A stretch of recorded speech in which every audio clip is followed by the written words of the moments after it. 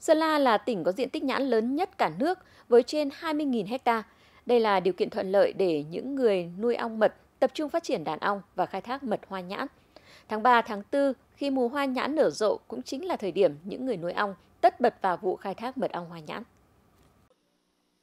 Tỉnh Sơn La có hai vùng trồng nhãn lớn là Sông Mã và Mai Sơn. Đây cũng là hai địa phương có nghề nuôi ong mật phát triển nhất hiện nay.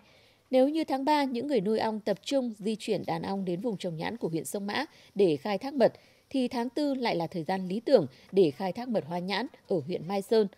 Với lợi thế về vùng hoa rộng lớn, trong suốt mùa hoa nhãn kéo dài hơn một tháng, thì những người nuôi ong có thể khai thác được từ 3 đến 4 vòng mật hoa nhãn.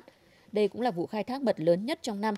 So với các loài hoa khác, mật ong hoa nhãn có chất lượng tốt hơn hẳn bởi mùi thơm đặc trưng, mật đặc và sánh mịn, độ thủy phân thấp. Một lít mật ong hoa nhãn có trọng lượng khoảng 1,4 kg. Chất lượng của cái mật ong hoa nhãn ở Sơn La này là thơm, ngon. Ờ, được cái là ờ, thời tiết ở trên này ủng hộ nắng nóng ờ, đâm ra là khi con ong lấy về là cái nguồn mật lấy về là ong cũng không phải quạt nhiều nó cũng là rất là đặc Đấy, chứ không như ở vùng dưới Hưng Yên hoặc là Hà Nam thì cái lượng mật về là rất là nhanh thì cái độ ẩm nó hàm lượng nước nó cao thì nó sẽ là loãng hơn cái cái cái cái mật ở trên Sơn La này. Theo những người nuôi ong, nhãn năm nay sai hoa, thời tiết nắng giáo nên cho sản lượng mật tương đối lớn. Với trên 80.000 đàn ong, dự kiến vụ hoa nhãn năm nay, tỉnh Sơn La sẽ thu được từ 1.500 đến 1.800 tấn mật ong hoa nhãn, đem lại giá trị kinh tế cao cho người nuôi ong.